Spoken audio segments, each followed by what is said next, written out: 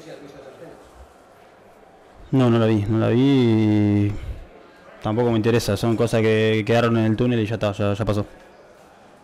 Un partido parece difícil, el Levante por uno menos y ¿qué pasó? ¿No se podía resolver? Digo, porque mucha gente especulado durante la semana con el empate, pero al final ustedes querían pero no podían, ¿no? Es verdad que ellos con, con un jugador menos se metieron mucho más atrás y nos costó llegar. Se vio que, que el equipo fue para adelante.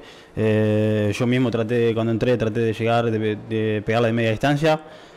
Pero creo que también tienen mérito ellos que, que defendieron durante todo el partido muy bien. Nosotros buscamos, buscamos la victoria, no se pudo. eh, pero también está del otro lado el empate que, que, bueno, que a nosotros nos, nos mete en Champions y, y el objetivo principal.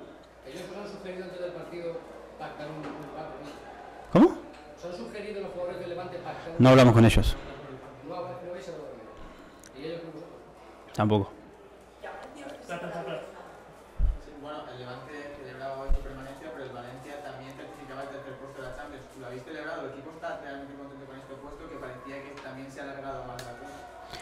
Campeón nos faltaron para el punto para ser, pero estamos tercero, estamos en Champions, creo que es un objetivo principal.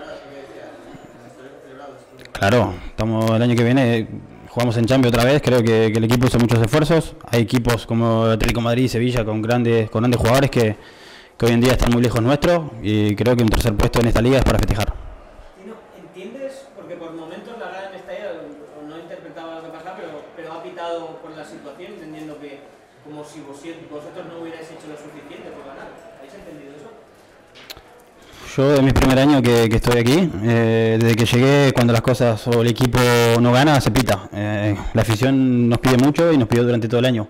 Eh, creo que no hay que buscar mucho más allá. Eh, la afición quería que ganemos este partido y por eso pitó como, como, lo hace siempre, como demuestra su, su inquietud cada vez que, que el equipo no, no gana, pero nada, tienen razón, estamos en casa, tenemos que ganar, pero bueno, hicimos todo, no se pudo.